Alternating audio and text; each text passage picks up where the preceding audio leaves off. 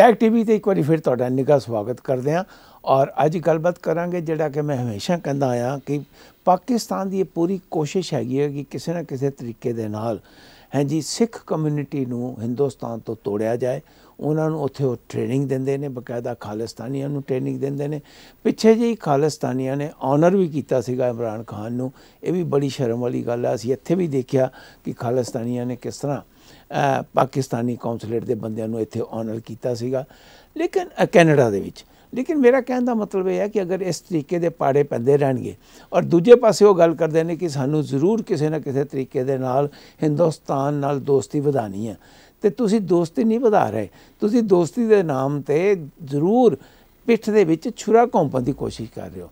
ਇਦਾਂ ਦੀਆਂ ਗੱਲਾਂ ਨਹੀਂ ਹੁੰਦੀਆਂ ਇਮਰਾਨ ਖਾਨ ਸਾਹਿਬ, ਜੇ ਤੁਸੀਂ ਚਾਹੁੰਦੇ ਹੋ ਜ਼ਿੰਦਗੀ ਦੇ ਵਿੱਚ ਕਿ ਵਾਕਈ ਦੋਸਤੀ ਕਰੋ ਤੇ ਥੋੜਾ ਕੁ ਸੱਚੇ ਦਿਲ ਦੇ ਨਾਲ ਕੰਮ ਕਰਨਾ ਸ਼ੁਰੂ ਕਰੋ। ਮੈਨੂੰ ਪਤਾ ਕਿ ਤੁਹਾਡੇ ਬਸ ਦਾ ਕੁਝ ਨਹੀਂ ਹੈਗਾ। ਇਹ ਸਾਰਾ ਕੰਮ ਤੇ ਐਸਟੈਬਲਿਸ਼ਮੈਂਟ ਦਾ। ਇਹ ਤੇ ਜਿੱਦਾਂ ਆਰਮੀ ਨੇ ਤੁਹਾਨੂੰ ਕਿਹਾ ਉਦਾਂ ਤੁਸੀਂ ਕਰਦੇ ਪਏ ਹੋ। ਤੁਸੀਂ ਬੜਾ ਕਹਿੰਦਾ, ਦੇਖੋ ਜੀ, ਅਸੀਂ ਸਿੱਖਾਂ ਦੇ ਕਿੱਡੇ ਦਿਲ ਖੋਲ ਦਿੱਤੇ। ਫਿਰ ਕਿੰਨਾ ਝੂਠ ਬੋਲਦੇ ਹੋ? ਤੁਹਾਡੇ ਸਾਰੇ ਜਿਹੜੇ ਉੱਥੋਂ ਦੇ ਸਲਤਨਤ ਦੇ ਲੋਕ ਹੈਗੇ ਨੇ, ਕਿ 14 ਕਰੋੜ ਸਿੱਖ ਕਦੀ ਜਾ ਕੇ ਦੇਖਿਆ ਤੁਸੀਂ ਕਿ ਸਿੱਖਾਂ ਦੀ ਆਬਾਦੀ ਦੁਨੀਆ 'ਚ ਕਿੰਨੀ ਆ? 3 ਕਰੋੜ ਆਬਾਦੀ ਆ ਸਿੱਖਾਂ ਦੀ ਸਿਰਫ। ਸਾਰੀ ਦੁਨੀਆ ਦੇ ਵਿੱਚ, ਉਹ 14 ਕਰੋੜ ਕਿੱਦਾਂ ਬਣ ਗਏ, ਇਹ ਮੈਨੂੰ ਅਜੇ ਤੱਕ ਨਹੀਂ ਸਮਝ ਆਈ। ਔਰ ਫਿਰ ਤੁਸੀਂ ਕਹਿੰਦੇ ਹੋ 1 ਕਰੋੜ ਕਸ਼ਮੀਰੀ 80 ਲੱਖ ਮੁਸਲਮਾਨ ਆ ਉਹ ਵੀ ਕਸ਼ਮੀਰ ਦੇ, ਉਸ ਵੈਲੀ ਦੇ ਵਿੱਚ, ਜਿੱਥੇ ਕਿ 5-6 ਜ਼ਿਲ੍ਹਿਆਂ ਦੇ ਵਿੱਚ ਤੁਹਾਡੀ ਮੈਜੋਰਟੀ ਹੈਗੀ ਆ। ਇਹ ਇਹ ਗੱਲ ਕਰਨੀ ਕਿ ਮੁਸਲਮਾਨ ਹਿੰਦੂ, ਫਿਰ ਤੁਸੀਂ ਕਹਿਣਾ ਕਿ ਅਸੀਂ ਹਿੰਦੂਆਂ ਨੂੰ ਖਤਮ ਕਰ ਦਾਂਗੇ, ਲੇਕਿਨ ਇਸ ਤੋਂ ਪਹਿਲਾਂ ਕਿ ਮੈਂ ਗੱਲ ਜਾਰੀ ਰੱਖਾਂ, ਅਸੀਂ ਦੇਖਦੇ ਹਾਂ ਸਾਡੇ ਮੌਲਵੀ ਖਾਦਮ ਰਿਜ਼ਵੀ ਸਾਹਿਬ ਕੀ ਕਹਿੰਦੇ ਨੇ ਸਰਦਾਰਾਂ ਦੇ ਬਾਰੇ। وہ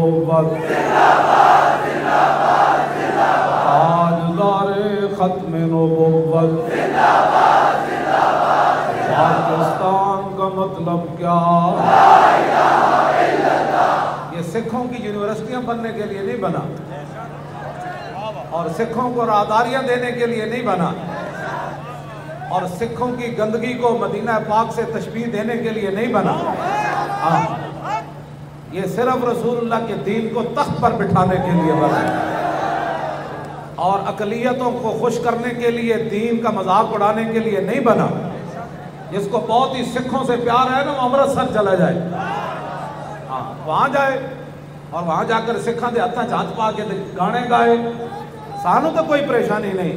جدھر دل کرے جدھر چلا جائے۔ دین ہمیشہ اپنی پاور سے کھڑا ہے۔ اور تا صبح قیامت دین نے اپنی پاور سے کھڑے رہنا ہے۔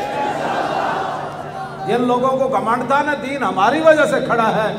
مینار پاکستان میں آپ نے آ کر بتا دیا، دین کسی کی وجہ سے نہیں کھڑا۔ دین رسول اللہ کی عظمت و شان کے صدقے اپنی پاور سے کھڑا ہے۔ طاہر صاحب اسی ਪਹਿਲਾਂ ਤੁਹਾਡਾ ਸਵਾਗਤ। ਜੀ ਜੀ ਥੈਂਕ ਯੂ ਸਰ ਮੈਂ ਤੁਹਾਨੂੰ ਯਾਦ ਹੈ ਪਹਿਲੇ ਦਿਨ ਵੀ ਸਾਡੇ ਇੱਕ ਮੇਰੇ ਸਾਥੀ ਨੇ ਜਿਹੜੇ ਕਦੀ ਅਗਰੀ ਨਹੀਂ ਸੀ ਕਰਦੇ ਕਿਉਂਕਿ ਮੈਂ ਉਦੋਂ ਵੀ ਇਹ ਕਹਿੰਦਾ ਸੀ ਕਿ ਇੱਕ ਬੜਾ ਵੱਡਾ ਡਰਾਮਾ ਹੈ ਜਿਹੜਾ ਕਰਤਾਰਪੁਰ ਸਾਹਿਬ ਦਾ ਲਾਂਗਾ ਇਹਨਾਂ ਨੇ ਖੋਲਿਆ ਔਰ ਮੈਨੂੰ ਪੂਰੀ ਤੁਸੀਂ ਦੇਖ ਲੈਣਾ ਕਿ ਆਉਣ ਵਾਲੇ ਟਾਈਮ ਦੇ ਵਿੱਚ ਉੱਥੋਂ ਕੋਈ ਨਾ ਕੋਈ ਪ੍ਰੋਬਲਮ ਜਦੋਂ ਕ੍ਰੀਏਟ ਹੋਣਗੀਆਂ ਤੇ ਲਾਂਗੇ ਦੀ ਵੀ ਪ੍ਰੋਬਲਮ ਕ੍ਰੀਏਟ ਹੋਣਗੀਆਂ। ਇਹ ਹੁਣ ਅਸੀਂ ਬੜੀ ਖਾਦਮ ਰਿਜ਼ਵੀ ਸਾਹਿਬ ਦੀ ਬੜੀ ਕਲੀਅਰ ਆਵਾਜ਼ ਸੁਣੀ ਹੈ ਕਿ ਉਹ ਕੀ ਕਹਿੰਦੇ ਪਏ ਨੇ ਕਿ ਸਾਨੂੰ ਇੱਥੇ ਸਿੱਖਾਂ ਦੀ ਕੋਈ ਜ਼ਰੂਰਤ ਨਹੀਂ, ਪਰ ਸਿੱਖ ਤੇ ਉੱਥੇ ਪਲਦੇ ਪਏ ਨੇ। ਹਜ਼ਾਰਾਂ ਹੀ ਸਿੱਖ ਜਿਹੜੇ ਨੇ ਗਵਰਨਮੈਂਟ ਆਫ ਪਾਕਿਸਤਾਨ ਦੇ ਖਰਚਿਆਂ ਦੇ ਉੱਪਰ ਉੱਥੇ ਰਹਿੰਦੇ ਨੇ। ਐਸ਼ ਦੀ ਜ਼ਿੰਦਗੀ ਬਤਾਉਂਦੇ ਨੇ ਔਰ ਉੱਥੇ ਟ੍ਰੇਨਿੰਗ ਦੇ ਕੇ ਲੋਕਾਂ ਦੇ ਦਿਮਾਗ ਪਾਗਲ ਕਰਕੇ ਉਹਨਾਂ ਨੂੰ ਹਿੰਦੁਸਤਾਨ ਦੇ ਵਿੱਚ ਪੰਜਾਬ ਦੇ ਏਰੀਆ 'ਚ ਭੇਜ ਕੇ ਹਾਂਜੀ ਕੋਈ ਨਾ ਕੋਈ ਡਿਸਟਰਬੈਂਸ ਕ੍ਰੀਏਟ ਕਰਨ ਦੀ ਕੋਸ਼ਿਸ਼ ਕਰਦੇ ਨੇ। ਦੇਖੋ ਡਾਕਟਰ ਸਾਹਿਬ, ਜਿਹੜੀ ਤੁਸੀਂ ਦੂਜੀ ਗੱਲ ਕੀਤੀ ਕਿ ਡਿਸਟਰਬੈਂਸ ਕ੍ਰੀਏਟ ਕਰ ਰਹੇ ਨੇ, ਜਿਹੜੇ ਉੱਥੇ ਲੋਕ ਖਾਲਿਸਤਾਨੀ ਮਾਈਂਡਸੈਟ ਦੇ ਪਲ ਰਹੇ ਨੇ ਉਹ ਹੁਣ ਵੈਸੇ ਘਟ ਗਏ ਨੇ ਉਹਦੀ ਵਜ੍ਹਾ ਹੈਗੀ ਹੈ ਕਿ ਉਹ ਗੱਲ ਹੁਣ 79 ਤੋਂ ਜਿਹੜੀ 91 ਤੱਕ ਛਿੜੀ ਸੀ ਖਾਲਿਸਤਾਨ ਦੀ ਉਹ ਗੱਲ ਨਹੀਂ ਰਹੇਗੀ। ਨਹੀਂ ਪਰ ਟ੍ਰੇਨਿੰਗ ਤੇ ਹੋ ਰਹੀ ਹੈ ਨਾ। ਹਾਂ ਉਹ ਠੀਕ ਹੋ ਰਹੀ ਹੈ ਲੇਕਿਨ ਮੈਂ ਤਾਂ ਖਾਦਮ ਰਿਜ਼ਵੀ ਦੀ ਤਰਫ ਆਣਾ ਖਾਦਮ ਰਿਜ਼ਵੀ ਕੋਈ ਕੱਲਾ ਆਦਮੀ ਨਹੀਂ ਹੈਗਾ। ਖਾਦਮ ਰਿਜ਼ਵੀ ਪਾਕਿਸਤਾਨ ਦੀ ਜਿਹੜਾ ਇੱਕ ਖਾਸ ਮਾਈਂਡਸੈਟ ਹੈ ਉਹ ਉਹਦਾ ਰਿਪਰੈਜ਼ੈਂਟੇਟਿਵ ਹੈਗਾ। ਇਹ ਕੋਈ ਮਾਮੂਲੀ ਬੰਦਾ ਨਹੀਂ ਹੈਗਾ। ਇਹਦੀ ਇੱਕ ਪੋਲੀਟੀਕਲ ਪਾਰਟੀ ਹੈ, ਤਹਿਰੀਕ ਲਬੈਕ ਪਾਰਟੀ, ਜਿਹਨੇ ਪਿਛਲੇ ਇਲੈਕਸ਼ਨ ਵਿੱਚ ਹਿੱਸਾ ਵੀ ਲਿੱਤਾ ਸੀ। ਔਰ ਇਹਨਾਂ ਨੂੰ ਕੋਈ ਬਹੁਤ ਵੱਡਾ ਬ੍ਰੇਕ ਥਰੂ ਤਾਂ ਨਹੀਂ ਲੈ ਸਕੇ ਸਰ, ਲੇਕਿਨ ਇਹਨਾਂ ਨੂੰ ਕਰੋੜਾਂ ਵੋਟ ਮਿਲੇ ਸਨ ਪਾਕਿਸਤਾਨ ਦੇ ਵਿੱਚ। ਔਰ, ਅੱਛਾ, ਖਾਦਮ ਰਿਜ਼ਵੀ ਸਿਰਫ ਕੱਲਾ ਨਹੀਂ, ਇਹਦੇ ਨਾਲ ਉਹਦੀ ਮਾਈਂਡਸੈਟ ਵਾਲੇ ਲੋਕ ਨਹੀਂ। ਇਹੋ ਜਿਹਾ ਜਿਹੜਾ ਮਾਈਂਡਸੈਟ ਹੈ ਉਹ ਪਾਕਿਸਤਾਨ ਦੇ ਵਿੱਚ ਆਮ ਹੈ ਉਹ ਗਲੀਆਂ ਮਹੱਲਿਆਂ ਦੇ ਵਿੱਚ ਇਹ ਮਾਈਂਡਸੈਟ ਆਮ ਹੈ ਔਰ ਖਾਦਮ ਹੁਸੈਨ ਜਿਹੜੀ ਗੱਲ ਕਰ ਰਿਹਾ ਹੈਗਾ ਸੈਡਲੀ ਉਹ ਬੜੇ ਘਟੀਆ ਲੈਂਗੁਏਜ ਯੂਜ਼ ਕਰ ਰਿਹਾ ਖਾਦਮ ਰਿਜ਼ਵੀ ਕਹਿੰਦੇ ਜੀ ਕਿ ਇਹ ਮੁਲਕ ਜਿਹੜਾ ਹੈਗਾ ਸੀ, ਇਹ ਕੋਈ ਸਿੱਖਾਂ ਦੀ ਗੰਦਗੀ ਨੂੰ ਮਦੀਨੇ ਦੀ ਰਿਆਸਤ ਨਾਲ ਮਿਲਾਉਣ ਵਾਸਤੇ ਨਹੀਂ ਬਣਿਆ। ਮਤਲਬ this is the word quote end quote ਉਹ ਕਹਿ ਰਿਹਾ ਹੈਗਾ। ਸ਼ਰਮਨਾਕ ਵਰਡ ਹੈਗਾ। ਔਰ ਇਹ ਮਾਈਂਡਸੈਟ ਖਾਦਮ ਰਜ਼ਵੀ ਦਾ ਨਹੀਂ ਹੈਗਾ, ਹੋਰ ਬਹੁਤ ਸਾਰੇ ਬੰਦਿਆਂ ਦਾ ਹੈਗਾ। ਦੇਖੋ, ਜਿਹੜੇ ਸਾਡੇ ਸਿੱਖ ਭੈਣ ਭਰਾ ਜਾ ਰਹੇ ਨੇ ਭਾਰਤ ਤੋਂ ਇਸ ਵੇਲੇ ਆਪਣਾ ਜ਼ਿਆਰਤਾਂ ਵਾਸਤੇ, ਉਹ ਸਮਝਦੇ ਨੇ ਇਸ ਰਿਐਲਿਟੀ ਨੂੰ। ਪਰ ਜਿਹੜੇ ਸਿੱਖ ਭੈਣ ਭਰਾ ਸਾਡੇ ਕੈਨੇਡਾ, ਅਮਰੀਕਾ ਯੂਕੇ ਰਹਿੰਦੇ ਨੇ ਨਾ ਉਹ ਘੱਟ ਸਮਝਦੇ ਨੇ। ਉਹ ਸਮਝਦੇ ਨੇ ਕਿ ਸ਼ਾਇਦ ਇੱਕ ਬਹੁਤ ਵੱਡਾ ਜੈਸਚਰ ਹੋਇਆ ਹੈ, ਉਹ ਕੋਈ ਬੜੀਆਂ ਉਹਨਾਂ ਨੂੰ ਮੈਂ ਸਿਰਫ ਇੱਕੋ ਹੀ ਸਵਾਲ ਪੁੱਛਣਾ ਕਿ ਜ਼ਰਾ ਪਾਕਿਸਤਾਨ ਦੇ ਕਿਸੇ ਗਲੀ ਮਹੱਲੇ ਦੇ ਵਿੱਚ, ਜਿੱਥੇ ਖਾਦਮ ਰਿਜ਼ਵੀ ਵਰਗੇ ਲੋਕ ਹਰ ਗਲੀ ਮਹੱਲੇ 'ਚ ਰਹਿੰਦੇ ਨੇ, ਜ਼ਰਾ ਤੁਸੀਂ ਉੱਥੇ ਇੰਡੀਪੈਂਡੈਂਟ ਕਿਰਾਏ ਦਾ ਘਰ ਲੈ ਕੇ ਰਹਿ ਕੇ ਵਿਖਾ ਲਓ। ਐਜ਼ ਸੈਲੀਬ੍ਰਿਟੀ ਐਜ਼ ਗੈਸਟ ਜਾ ਕੇ ਦੋ ਤਿੰਨ ਦਿਨ ਵਾਸਤੇ ਉਹ ਗੱਲ ਹੋਰ ਹੁੰਦੀ ਹੈਗੀ ਹੈ। ਰਾਈਟ ਠੀਕ ਹੈ ਨਾ ਜੀ? ਤੁਸੀਂ ਕੋਈ ਆਪਣੇ ਪਾਕਿਸਤਾਨੀ ਮਿੱਤਰਾਂ ਯਾਰਾਂ ਦੀਆਂ ਕੋਠੀਆਂ 'ਚ ਰਹਿ ਕੇ ਆ ਜਾਓ ਉਹ ਗੱਲ ਹੋਰ ਹੁੰਦੀ ਹੈ। ਤੁਸੀਂ ਅਨਾਰਕਲੀ ਜਾਓਗੇ ਸਭ ਵੇਖ ਕੇ ਆਣਗੇ ਸਰਦਾਰ ਜੀ ਆਏ ਨੇ ਆਓ ਜੀ ਆਓ ਜੀ ਤੁਹਾਨੂੰ ਲੱਸੀ ਪਿਆਈਏ। ਉਹ ਗੱਲ ਹੋਰ ਹੁੰਦੀ ਹੈ। ਪਰ ਜ਼ਰਾ ਉੱਥੇ ਰਹਿ ਕੇ ਦਿਖਾਓ। ਜਦੋਂ ਮੈਂ ਗੱਲ ਕਰਨਾ ਤੇ ਮੇਰੇ ਇੱਕ ਪਾਕਿਸਤਾਨੀ ਬੜੇ ਅੱਛੇ ਮਿੱਤਰ ਨੇ ਕਿਹਾ ਉਹਨੇ ਕਿਹਾ ਕਿ ਜਿਹੜੇ ਰਹਿ ਰਹੇ ਸਨ ਉਹ ਕਿੱਥੇ ਨੇ? ਉਹ ਵੀ ਨਹੀਂ ਹੁਣ ਉੱਥੇ ਹੈਗੇ। ਤੇ ਇਹ ਵਿਚਾਰੇ ਕਿਸ ਤਰ੍ਹਾਂ ਰਹਿ ਕੇ ਉਹ ਤਾਂ? ਕੱਢ ਦਿੱਤੇ। ਕੱਢ ਦਿੱਤੇ ਗਏ। ਕਰ ਦਿੱਤੇ ਜਾਂ ਕਨਵਰਟ ਕਰ ਦਿੱਤੇ ਜਾਂ ਜ਼ੁਲਮ ਉਹਨਾਂ ਤੇ ਕੀਤੇ ਗਏ। ਹਾਂਜੀ ਚਾਹੇ ਉਹ ਕ੍ਰਿਸਚੀਅਨ ਸੀਗੇ ਚਾਹੇ ਉਹ ਹਿੰਦੂ ਸੀ ਚਾਹੇ ਉਹ ਸਿੱਖ ਸੀਗੇ ਜਾਂ ਉਹ ਆਪਣੇ ਇਹਨਾਂ ਦੇ ਮੁਸਲਿਮਸ ਦੇ ਵਿੱਚੋਂ ਹੀ ਹਾਂਜੀ ਇੱਕ ਹੋਰ ਜਿਹੜੀ ਕੌਮ ਹੈ ਉਹਨੂੰ ਵੀ ਬਾਹਰ ਕੱਢ ਦਿੱਤਾ। ਹਾਂ ਉਹ ਉਹ ਖੈਰ ਆਪਣੀ ਨਾਲ ਦੀ ਬਹਿਸ ਹੈਗੀ ਚਲੋ, ਹੈ ਤੇ- ਹੈ- ਹਾਂਜੀ ਲੇਕਿਨ ਡਾਕਟਰ ਸਾਹਿਬ ਤੁਸੀਂ ਦੇਖੋ ਨਾ ਕਿ ਲਾਹੌਰ ਜਿਹੜਾ ਰਾਮ ਦੇ ਬੇਟੇ ਦਾ ਸ਼ਹਿਰ ਹੈ ਮੈਨੂੰ ਸਾਬਤ ਕਰ ਦਿਓ ਉੱਥੇ ਕੋਈ ਇੱਕ ਵੀ ਹਿੰਦੂ ਰਹਿੰਦਾ ਅੱਜ। ਠੀਕ ਹੈ ਨਾ ਜੀ? ਤੁਸੀਂ ਤੇ ਲਾਹੌਰ ਦੇ ਹੋ ਤੁਹਾਨੂੰ ਪਤਾ। ਮਤਲਬ ਇਹ ਇੱਕ ਰਿਐਲਿਟੀ ਹੈ। ਹਾਂ। ਕੋਈ prove me a single family who owns a house in Lahore ਜਿਹੜਾ ਉਹਨਾਂ ਦਾ ਸ਼ਹਿਰ ਸੀ ਰਾਈਟ ਠੀਕ ਹੈ ਨਾ ਜੀ ਤੇ ਡਾਕਟਰ ਸਾਹਿਬ ਇਹ ਰਿਐਲਿਟੀ ਹੈ ਅੱਛਾ ਲਾਹੌਰ ਸਿਰਫ ਹਿੰਦੂਆਂ ਦਾ ਨਹੀਂ ਉਹ ਸਿੱਖਾਂ ਦਾ ਵੀ ਸ਼ਹਿਰ ਸੀ ਸਿੱਖ ਵੀ ਬਹੁਤ ਵੱਡੀ ਕਮਿਊਨਿਟੀ ਸੀ ਬਿਲਕੁਲ ਉੱਥੇ? ਕੈਪੀਟਲ ਅੱਛਾ ਸੀ ਸਿੱਖ ਔਰ ਹਿੰਦੂ ਕੋਈ ਵੱਖਰੇ ਵੱਖਰੇ ਥੋੜੇ ਨੇ ਇਹ ਇੱਕ ਦੂਜੇ ਦੇ ਕਜ਼ਨ ਇੱਕ ਦੂਜੇ ਦੇ ਭੈਣ ਭਰਾ ਨੇ ਇੱਕ ਦੂਜੇ ਦੇ ਅੰਦਰੋਂ ਹੀ ਇਹ ਨਿਕਲੇ ਨੇ ਹਾਂ, ਠੀਕ ਹੈ ਨਾ ਜੀ? ਲੇਕਿਨ ਇਹ ਜਿਹੜੀ ਸੂਰਤ ਹਾਲ ਹੈ ਇਹਨੂੰ ਸਮਝਣ ਦੀ ਲੋੜ ਹੈਗੀ ਡਾਕਟਰ ਸਾਹਿਬ ਸਿਰਫ ਇੰਨੀ ਗੱਲ ਨਹੀਂ ਹੈ ਤੁਸੀਂ ਇੱਕ ਵੀਡੀਓ ਦੇਖਿਆ ਨਾ ਜਿਹੜਾ ਤੁਸੀਂ ਦੂਜਾ ਵੀਡੀਓ ਤਿਆਰ ਕੀਤਾ ਹੋਇਆ ਉਹਦੇ ਚ ਇੱਕ ਗੂਗਲ ਹੀ ਮਾਰਦੇ ਨੇ ਜਿਹੜੀ ਗੱਲਬਾਤ ਤੁਸੀਂ ਸ਼ੁਰੂ ਕੀਤੀ ਉਹ ਗੂਗਲ ਹੀ ਮਾਰਦੇ ਨੇ ਕਿ ਅਸੀਂ ਜਿਹੜੀ ਨਾ ਆਪਣੀ ਸਿੱਖ ਬਰਾਦਰੀ ਨੂੰ ਨਾਲ ਸ਼ਾਮਲ ਕਰਕੇ ਕੋਟ ਅਨ ਕੋਟ ਸੈਡਲੀ ਫਿਰ ਇੱਕ ਸ਼ੇਮਫੁਲ ਲੈਂਗੁਏਜ ਵਰਦੇ ਨੇ ਅਸੀਂ ਹਿੰਦੂਆਂ ਨੂੰ ਮਾਰ ਦੇਵਾਂਗੇ। ਮੇਰਾ ਖਿਆਲ ਉਹ ਵੀਡੀਓ ਵੀ ਵੇਖਦੇ ਉਹ ਵੀਡੀਓ ਵੀ ਦੇਖਦੇ ਆ ਵੀਡੀਓ ਤੋਂ ਮੈਂ ਥੋੜਾ ਕੁ ਦੱਸ ਦਵਾਂ ਕਿ ਉਹਦੇ ਵਿੱਚ ਇਹ ਗੱਲ ਕੀਤੀ ਗਈ ਹੈ ਕਿ 45 ਕਰੋੜ ਅਸੀਂ ਹੁਣ ਇਕੱਠੇ ਹੋ ਜਾਣਾ ਹੈ। 20 ਕਰੋੜ ਆਪਣੇ ਪਾਕਿਸਤਾਨ ਮੁਸਲਮਾਨਾਂ ਦੀ ਗੱਲ ਕਰਦੇ ਪਏ ਨੇ। 14 ਕਰੋੜ ਉਹ ਜਿਹੜੇ ਇਸ ਵਕਤ ਸਿੱਖ ਨੇ, ਜਿਹੜੇ ਕਿ ਨਹੀਂ ਹੈਗੇ 3 ਕਰੋੜ ਨੇ। ਤੁਸੀਂ ਜਾ ਕੇ ਯੂਨਾਈਟਿਡ ਨੇਸ਼ਨਸ ਦੀਆਂ ਫਿਗਰਾਂ ਦੇਖ ਲਓ। ਉੱਥੇ 3 ਕਰੋੜ ਲਿਖਿਆ ਦਾ ਕੋਈ 14 ਕਰੋੜ ਕਿਤੇ ਹੈ ਹੀ ਨਹੀਂ। ਹਾਂਜੀ ਔਰ ਦੂਜਾ 1 ਕਰੋੜ ਉਹ ਕਹਿੰਦੇ ਨੇ ਕਿ ਸਾਡਾ ਮੁਸਲਮਾਨ ਉੱਥੇ ਆ। ਸੋ ਉਹਨਾਂ ਨੇ 45 ਕਰੋੜ ਪਤਾ ਨਹੀਂ ਕਿੱਥੋਂ ਫਿਗਰ ਬਣਾਤੀ। 20 20 ਤੇ ਅਗਰ ਮੈਂ ਦੇਖਾਂ 15 ਤੇ 35 ਕਰੋੜ ਬੰਦੀ ਆ ਪਰ ਚਲੋ 45 ਕਰੋੜ ਵੀ ਅਗਰ ਹੋ ਜਾਣ। ਉਹ ਕਹਿੰਦੇ ਨੇ ਕਿ ਮੋਦੀ ਅਸੀਂ ਆ ਰਹੇ ਹਾਂ ਸਾਰਾ ਹਿੰਦੂਇਜ਼ਮ ਖਤਮ ਕਰ ਦਾਂਗੇ। ਹੈਂ, ਅਸੀਂ ਤਿਆਰ ਹੋ ਰਹੇ ਹਾਂ ਅਗਲੀ ਲੜਾਈ ਅਸੀਂ 45 ਕਰੋੜਾਂ ਨੇ ਲੜਨੀ ਆ। ਇਹ ਅਗਰ 45 ਕਰੋੜ ਵੀ ਹੋ ਜਾਣ ਮੈਂ ਸਿਰਫ ਨੰਬਰ ਦੀ ਗੱਲ ਕਰਦਾ ਤਾਹਿਰ ਜੀ, ਸਾਹਿਬ ਜੀ, ਜੀ। 45 ਕਰੋੜ ਵੀ ਹੋ ਜਾਣ ਤੇ 100 ਕਰੋੜ ਤੇ ਫਿਰ ਵੀ ਇੱਕ ਪਾਸੇ ਆ ਆਦੀ ਸਰ ਨਹੀਂ ਮੇਰਾ ਮਤਲਬ ਅੱਛਾ ਵੀਡੀਓ ਦੇ ਦਿਓ ਤੇ ਫਿਰ ਤੁਹਾਡੇ comments let's see this video देखें जी चौदह करोड़ सिख हैं जी एक करोड़ कश्मीरी हैं जी और तीस करोड़ वहां पे इंडिया में मुसलमान हैं अब पंद्रह वो हो गए हैं और तीस ये हो गए हैं पैंतालीस हजार मुसलमान हो गए हैं करोड़ पैंतालीस करोड़ मुसलमान हो गए हैं اگر سکھ بھی ہمارے ساتھ بھائی ہمارے ساتھ ہوں گے انشاءاللہ تعالی۔ انہیں ہم نے عزت دی ہے۔ انہیں ہمیں اپنے سر پہ بٹھایا ہے۔ انہیں عمران خان نے عزت دی ہے۔ پاکستان نے انہیں عزت دی ہے۔ جنرل باجوہ نے انہیں عزت دی ہے۔ پاک فوج نے ان کا احترام کیا ہے جی۔ انشاءاللہ تعالی وہ اب جنگ میں ہمارے ساتھ ہوں گے۔ مودی کو اب سبق سکھانے کا ٹائم آ گیا۔ انشاءاللہ تعالی انتالیس کروڑ وہاں ہوں گے اور بیس کروڑ عوام یہاں مودی اب تیری خیر نہیں۔ انشاءاللہ تعالی ہندوؤں کا نام اور نشان مٹ جائے گا دنیا سے۔ یہ بہت بڑا کارنامہ ہے جی باجوا کا۔ یہ بہت بڑا کارنامہ ہے عمران خان کا۔ یہ کسی کی سوچ میں بھی نہیں تھا۔ یاد رکھے طاہر صاحب، جس طرح ایران نے گل کیتی تھی کہ اسی ہمیشہ لئی نام و نشان مٹا دیں گے اسرائیل دا، اے زمین تو۔ ਇਹ ਹਮੇਸ਼ਾ ਲਈ ਨਾਮੋ ਨਿਸ਼ਾਨ ਮਿਟਾਉਣਾ ਚਾਹੁੰਦੇ ਨੇ। ਹਿੰਦੂ ਕੌਮ ਦਾ ਜਿਹੜੀ ਕਿ ਸਭ ਤੋਂ ਪੁਰਾਣੀ the oldest culture and the oldest religion is Hinduism ਇਹ ਇਹ ਕਿਹੜੇ ਤਰੀਕੇ ਨਾਲ ਉਹਨੂੰ ਖਤਮ ਕਰਨਗੇ? ਸਾਹਿਬ ਤਰੀਕਾ ਤਾਂ ਛੱਡੋ। ਇਹਨਾਂ ਦੇ ਜਿਹੜੇ ਨੰਬਰ ਨੇ ਉਹ ਵੀ ਛੱਡੋ ਕਿ ਨਾ ਉਹਨਾਂ ਨੰਬਰ ਮੈਂਟੈਲਿਟੀ ਦੇਖੋ। ਠੀਕ ਹੈ ਨਾ ਜੀ। ਉਹ ਮੈਂਟੈਲਿਟੀ 47 ਤੋਂ ਹੁਣ ਤੱਕ ਕੰਟੀਨਿਊ ਹੀ ਹੈ। ਉਹ ਉਦੋਂ ਵੀ ਤੀ ਹੋਈ ਮੈਂਟੈਲਿਟੀ ਸੀ ਨਾ. ਕਿ ਅਸੀਂ ਪਾਕ ਆ ਬਾਕੀ ਨਾ ਪਾਕ ਨੇ। ਤੇ ਸਾਨੂੰ ਆਪਣਾ ਦੇਸ਼ ਚਾਹੀਦਾ ਹੈ ਠੀਕ ਹੈ ਨਾ? right. ਦੇਸ਼ ਬਣਾ ਲਿੱਤਾ Right.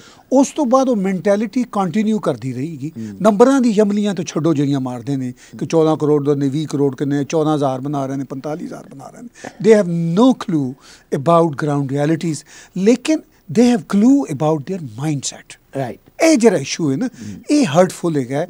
ਇਸ ਇਸ ਇਸ਼ੂ ਨੂੰ ਦੁਨੀਆ ਨੂੰ ਚਾਹੀਦਾ ਹੈ ਪੂਰੀ ਦੁਨੀਆ ਨੂੰ ਚਾਹੀਦਾ ਹੈ ਕਿ ਨੋਟਿਸ ਲਵਣ ਕਿ ਇਹ ਜਿਵੇਂ ਐਂਟੀ ਸੈਮਿਟਿਜ਼ਮ ਹੈ ਨਾ ਹਾਂ, ਠੀਕ ਹੈ ਨਾ ਬਿਲਕੁਲ, ਇਹ ਉਸ ਤੋਂ ਵੀ ਵਧੀਆ ਹੈ ਮਤਲਬ ਇਹ ਉਸ ਤੋਂ ਵੀ ਬਹੁਤ ਅੱਗੇ ਹੈ। ਇਹ ਮੈਂ ਕਹਿੰਦਾ ਇਹ ਘਟੀਆ ਤੋਂ ਘਟੀਆ। ਠੀਕ ਹੈ ਮਤਲਬ ਐਂਟੀ ਸੈਮਿਟਿਜ਼ਮ ਦੇ ਵਿੱਚ ਤਾਂ ਫਿਰ ਤੁਸੀਂ ਕੋਈ ਟਾਰਗੇਟ ਕਰਦੇ ਜੇ ਨਾ। ਇਹ ਬਕਾਇਦਾ ਇਹਨਾਂ ਨੇ ਟਾਰਗੇਟ ਹੀ ਨਹੀਂ ਕੀਤਾ ਹੋਇਆ ਅਟੈਕ ਕਰ ਲਿੱਤਾ ਹੋਇਆ। ਹੈ। ਠੀਕ ਹੈ ਨਾ ਜੀ? ਤੇ ਲਿਹਾਜ਼ਾ ਦੁਨੀਆ ਨੂੰ ਇਹਨਾਂ ਲੋਕਾਂ ਨੂੰ ਰਹਿੰਦੇ ਪਿੱਛੇ ਜਿਹੜੀ ਰਿਆਸਤੀ ਮਸ਼ੀਨਰੀ ਖੜੀ ਹੈ ਰਾਈਟ ਉਹਨੂੰ ਹੇਟ ਕ੍ਰਾਈਮਸ ਦੇ ਵਿੱਚ ਰਾਈਟ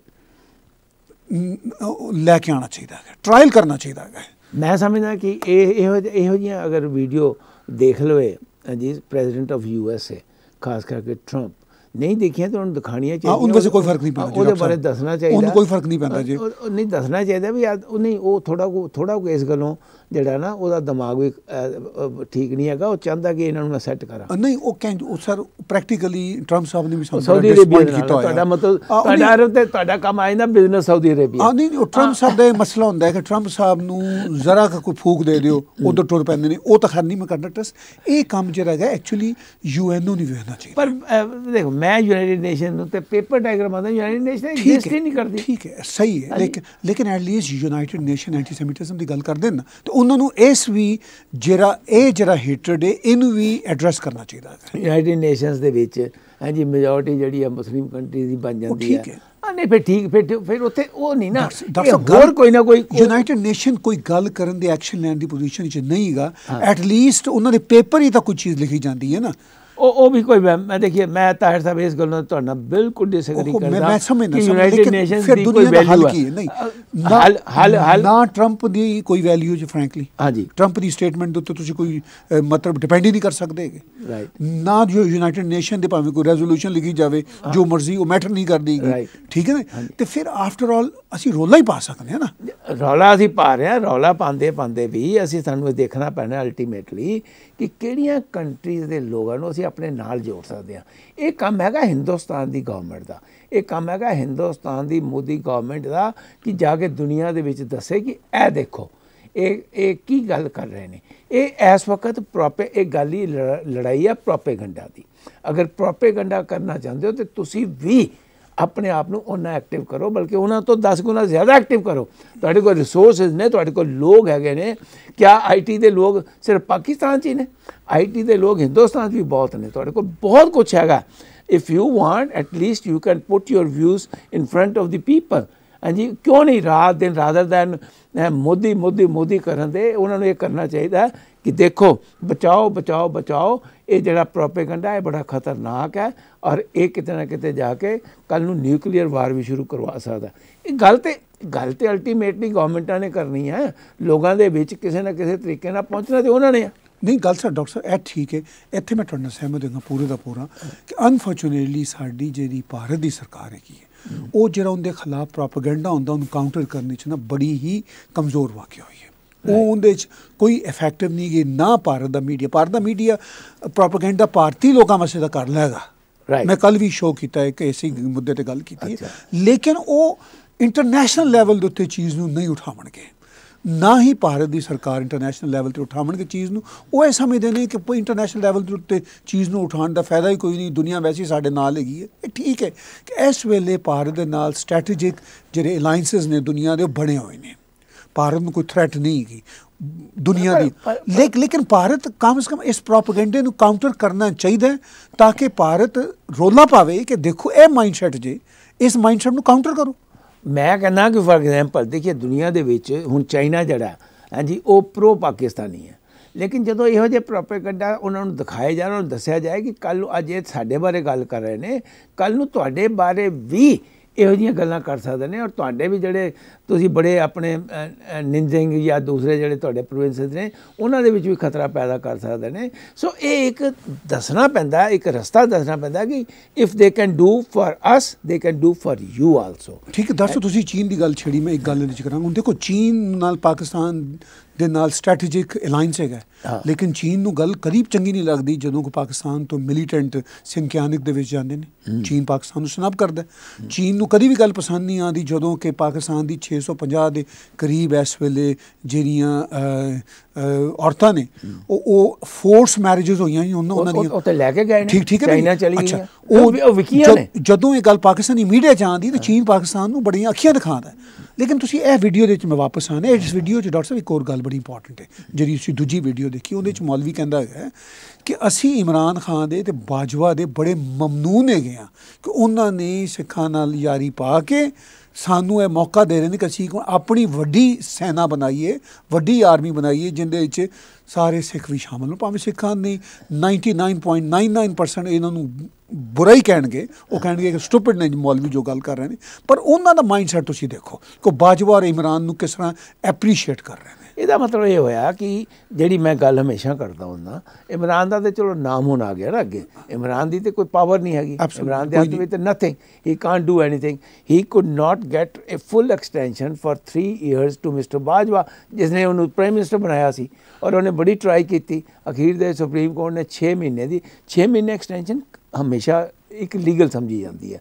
ਹਾਂਜੀ 6 ਮਹੀਨੇ ਦੇ ਬਾਅਦ ਜਿਹੜਾ ਉਹਨੂੰ ਦੇਖਣਾ ਪੈਣਾ ਵੀ ਇਹ ਕਿਦਾਂ, ਕਿਹੋ ਜਿਹਾ ਚੱਕਰ ਹੋ ਗਿਆ, ਕੀ ਹੋ ਗਿਆ, ਕਿਦਾਂ ਦੇ, ਮੈਂ ਸੁਣਿਆ ਆਰਮੀ ਦੇ ਵਿੱਚ ਵੀ ਉੱਥੇ ਪਾਕਿਸਤਾਨ ਦੇ ਵਿੱਚ ਧੜੇ ਬਣ ਗਏ ਹੋਏ ਨੇ। ਹਾਂਜੀ ਕੁਝ ਜਨਰਲ ਹੋਰ ਪਾਸੇ ਨੇ, ਆਰਮੀ ਦੇ ਵਿੱਚ ਵੀ ਜਿਹੜੇ ਉਗਰਵਾਦੀ ਐਲੀਮੈਂਟ ਆ, ਉਹ ਹੋਰ ਅੱਗੇ ਵੱਧਦਾ ਪਿਆ।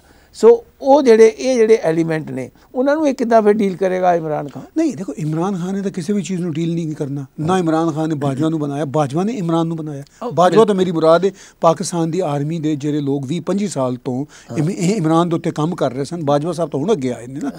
ਜਨਰਲ ਹਮੀਦ ਗੁਲ ਤੋਂ ਲੈ ਕੇ ਬਾਜਵਾ ਤੱਕ ਉਹਨਾਂ ਸਭ ਨੇ ਇਮਰਾਨ ਨੂੰ ਬਣਾਇਆ। ਤਾਂ ਇਮਰਾਨ ਦੀ ਤਾਂ ਤੁਸੀਂ ਖੁਦ ਵੀ ਕਿਹਾ ਕੋਈ ਸੇ ਨਹੀਂ ਕੋਈ ਵੈਲਿਊ ਨਹੀਂ ਕੋਈ ਪੋਜੀਸ਼ਨ ਨਹੀਂ ਹੈਗੀ। ਇਹ ਤਾਂ ਬਾਜਵਾ ਦੀ ਹੈਗੀ ਅਗਲਾ ਜਿਹੜਾ 6 ਮਹੀਨੇ ਹੈਗਾ ਉਸ 6 ਮਹੀਨਿਆਂ ਤੋਂ ਬਾਅਦ ਇਹ ਹੁਣ ਦੇਖਣਾ ਕਿ ਜਿਹੜੇ ਆਰਮੀ ਦੇ ਅੰਦਰ ਧੜੇ ਨੇ ਕਿਹੜਾ ਧੜਾ ਉੱਤੇ ਜਾਂਦਾ ਕਿਆ ਬਾਜਵਾ ਦਾ ਧੜਾ ਕਾਬੂ ਪਾ ਦਿੰਦਾ? ਅਗਰ ਬਾਜਵਾ ਦਾ ਧੜਾ ਸਿਚੁਏਸ਼ਨ ਦੇ ਉੱਤੇ ਕਾਬੂ ਪਾ ਲੇਗਾ ਤੇ ਇਹਦਾ ਮਤਲਬ ਹੈਗਾ ਕਿ ਫਿਰ ਉਹ ਜਿਹੜੇ ਜਿਹੜੇ ਦੂਜੇ ਜਰਨੈਲਾਂ ਦੇ ਗਰੋਹ ਤਿੰਨ- ਉਹ ਤਿੰਨ ਪਿੱਛੇ ਹਟ ਜਾਣਗੇ। ਹਾਂ ਉਹ ਪਿੱਛੇ ਹਟ ਜਾਣਗੇ। ਲੇਕਿਨ ਅਗਰ ਬਾਜਵਾ ਦਾ ਧੜਾ ਨਾ ਕਾਬੂ ਪਾ ਸਕਿਆ ਆਫਟਰ ਆਲ ਦੇਖੋ ਨਾ ਡਾਕਟਰ ਸਾਹਿਬ ਇਹ ਵੈਸਟਡ ਇੰਟਰਸਟ ਦੀ ਗੱਲ ਹੈ. ਬਾਜਵਾ 3 ਸਾਲ ਹੋਰ ਚੀਫ ਦਾ ਆਰਮੀ ਸਟਾਰ ਰਹਿੰਦਾ ਹੈਗਾ। ਤਾਂ ਜਿਨ੍ਹਾਂ ਨੇ ਚੀਫ ਦਾ ਆਰਮੀ ਸਟਾਫ ਬਣਨਾ ਹੈਗਾ ਰਾਈਟ ਉਹਨਾਂ ਦੇ ਚਾਂਸ ਤਾਂ ਖਤਮ ਹੋ ਜਾਣਗੇ। ਇੱਕ ਜਰਨਲ ਨੇ ਤਾਂ ਪਹਿਲੇ ਹੀ ਹੁਣ ਅਸਤੀਫਾ ਦੇ ਦਿੱਤਾ ਸਰਫਰਾਜ਼ ਸਤਾਰ ਨੇ ਜਿਹਦੇ ਬਾਰੇ ਵਰਲਡ ਨਿਊਜ਼ ਵੀ ਆਈਆਂ ਨੇ ਕਿ ਉਹ ਗਰੁੱਪ ਨਹੀਂ ਹੈਪੀ ਸੀ।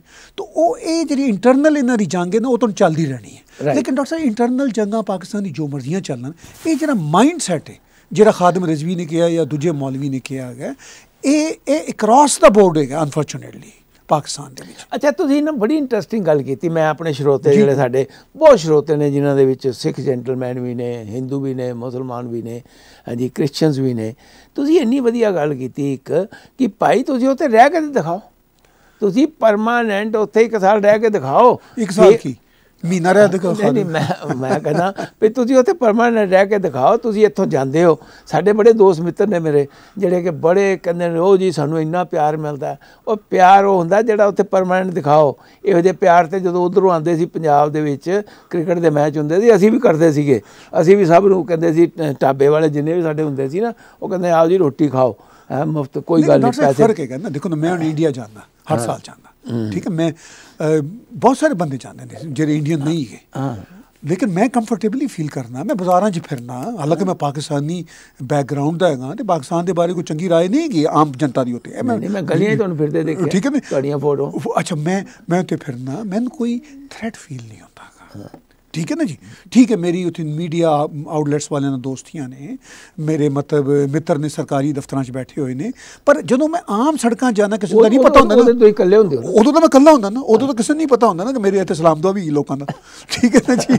ਮੇਰਾ ਐਕਸੈਂਟ ਮੇਰੀ ਵਾਈਫ ਮੇਰੇ ਨਾਲ ਹੁੰਦੇ ਨੇ। ਸਾਡਾ ਐਕਸੈਂਟ ਮਤਲਬ ਪਿਓਰ ਪਾਕਿਸਤਾਨੀ ਸਟਾਈਲ ਦਾ ਹੁੰਦਾ ਹੈਗਾ। ਅੱਛਾ ਕਈ ਬੰਦੇ ਮੈਨੂੰ ਉੱਥੇ ਸਪੌਟ ਕਰ ਲੈਂਦੇ ਨੇ ਸੜਕਾਂ। ਉਹ ਜੀ ਤੁਹਾਨੂੰ ਦੇਖਿਆ ਹੈਗਾ ਜੀ ਆਪਕੋ ਦੇਖਾ ਹੈ ਜੀ ਭਈਆ। ਹਾਂ। ਤੇ ਇਹਨਾਂ ਮਤਲਬ ਹੈਗਾ ਕਿ ਮੈਨੂੰ ਕੋਈ ਥ੍ਰੈਟ ਫੀਲ ਨਹੀਂ ਹੁੰਦਾ ਹੈਗਾ. ਠੀਕ ਹੈ ਨਾ ਜੀ? ਮੈਂ ਉੱਥੇ ਡਾਕਟਰ ਸਾਹਿਬ ਮੈਂ ਉੱਥੇ ਇੱਕ ਇੱਕ ਵਿਜ਼ਿਟ ਦੇ ਵਿੱਚ ਨਾ ਮੈਂ ਨਿਊ ਦਿੱਲੀ ਦੇ ਇੱਕ ਅਪਾਰਟਮੈਂਟ ਵਿੱਚ ਵੀ ਰਹਿ ਕੇ ਵੇਖਿਆ ਹੋਇਆ ਵਾਹ ਵਾਹ। ਮਤਲਬ ਮੈਂ ਇੰਜ ਨਹੀਂ ਸੀ ਕਿ ਮੈਂ ਹਮੇਸ਼ਾ ਹੋਟਲਾਂ 'ਚ ਰਹਿੰਦਾ। ਮੈਂ ਦੋ ਹਫ਼ਤੇ ਇੱਕ ਅਪਾਰਟਮੈਂਟ ਵਿੱਚ ਮੇਰੇ ਸੱਜਣ ਨਿਗਾ ਮੇਰਾ ਅਪਾਰਟਮੈਂਟ ਤੂੰ ਉੱਥੇ ਜਾ ਕੇ ਰਹੀ. ਉਹ ਆਪ ਨਹੀਂ ਸੀ ਉਹ ਆਪ ਅਮਰੀਕਾ ਸਨ. ਮੈਂ ਉਹਨਾਂ ਦੇ ਅਪਾਰਟਮੈਂਟ ਵਿੱਚ ਜਾ ਕੇ ਉਹ ਮੈਂ ਗਿਆ ਤੇ ਉਹਨਾਂ ਨੇ ਚਾਬੀ ਮੈਨੂੰ ਦੇ ਦਿੱਤੀ। ਤੇ ਜਿਵੇਂ ਮੈਂ ਸਿਟ ਜਿਵੇਂ ਮੈਂ ਸ਼ਹਿਰੀ ਹੁੰਦਾ ਨਾ ਉਸ ਮੈਨੂੰ ਕੋਈ ਦਿੱਕਤ ਨਹੀਂ ਹੋਈ। ਮੈਂ ਗਰੋਸਰੀ ਕਰਦਾ ਸੀ ਜਾ ਕੇ। ਅੱਛਾ ਇਹ ਦੱਸੋ ਆਖਿਰ ਦੇ ਵਿੱਚ ਇਹ ਜਿਹੜੀਆਂ ਅਸੀਂ ਵੀਡੀਓਜ਼ ਦੇਖੀਆਂ ਨੇ ਇਹਦਾ ਤਾਹਿਰ ਸਾਹਿਬ ਇਹ ਤੇ ਉਲਟਾ ਵੀ ਅਸਰ ਪੈ ਸਕਦਾ। ਕੁਝ ਜਿਹੜਾ ਉਗਰਵਾਦੀ ਸਿੱਖ ਐਲੀਮੈਂਟ ਹੈਗਾ ਹਾਂਜੀ ਖਾਲਿਸਤਾਨੀ ਪ੍ਰੋ ਖਾਲਿਸਤਾਨੀ ਐਲੀਮੈਂਟ ਉਹ ਇਹਨੂੰ ਐਕਸਪਲੋਇਟ ਵੀ ਕਰ ਸਕਦਾ। ਨਹੀਂ ਬਿਲਕੁਲ ਬਿਲਕੁਲ ਉਹ ਐਕਸਪਲੋਇਟ ਡਾਕਟਰ ਸਾਹਿਬ ਕੀ ਕਰਨਾ? ਦੋਨੋਂ ਪਾਸਿਓਂ ਕਰ ਹਾਂ। ਦੋ ਡਾਕਟਰ ਸਾਹਿਬ ਐਕਸਪਲੋਇਟ ਕਰਨ ਜਾਂ ਨਾ ਕਰਨ ਦੀ ਗੱਲ ਛੱਡੋ। ਮੈਂ ਕਹਿੰਦਾ ਇਹ ਮਾਈਂਡਸੈਟ ਜਿਹੜਾ ਤੁਸੀਂ ਇਹਨਾਂ ਦੋਵੇਂ ਵੀਡੀਓ 'ਚ ਦੇਖਿਆ ਇਹ ਐਟ ਲਾਰਜ ਉੱਥੇ ਐਗਜ਼ਿਸਟ ਕਰਦਾ ਹੈ। ਠੀਕ ਹੈ ਨਾ ਜੀ? ਐਕਸਪਲੋਇਟੇਸ਼ਨ ਦੀ ਗੱਲ ਛੱਡੋ। ਇਹ ਕਿ ਗਰਾਊਂਡ ਰਿਐਲਿਟੀ ਹੈ। ਇਸ ਗਰਾਊਂਡ ਰਿਐਲਿਟੀ ਦੇ ਨਾਲ ਭਾਰਤ ਦੇ ਨਾਲ ਪਾਕਿਸਤਾਨ ਦੇ ਤਾਲੁਕਾਤ ਕਿੰਜ ਠੀਕ ਹੋ ਸਕਦੇ ਨੇ? ਕਿਉਂਕਿ। ਗਰਾਊਂਡ ਰਿਐਲਿਟੀ ਤਾਂ ਇਹ ਹੈਗੀ। ਜਦੋਂ ਤੱਕ। ਇਹ ਗਰਾਊਂਡ ਰਿਐਲਿਟੀ ਨਹੀਂ ਖਤਮ ਹੋਵੇਗੀ ਤੇ ਕਿਵੇਂ ਤਾਲੁਕਾਤ ਠੀਕ ਹੋਣਗੇ? ਤਾਹਿਰ ਸਾਹਿਬ ਤੁਹਾਡਾ ਬਹੁਤ ਬਹੁਤ ਧੰਨਵਾਦ. ਮੈਂ ਸਿਰਫ ਆਖਿਰ 'ਚ ਇੰਨਾ ਹੀ ਕਹਿਣਾ ਚਾਹੁੰਦਾ ਕਿ ਅਗਰ ਇਸ ਕਿਸਮ ਦੇ ਖਿਆਲਾਤ ਤੁਸੀਂ ਲੋਕ ਰੱਖਦੇ ਹੋ ਤੇ ਫਿਰ ਤੁਸੀਂ ਪੀਸ ਨੂੰ ਭੁੱਲ ਜਾਓ।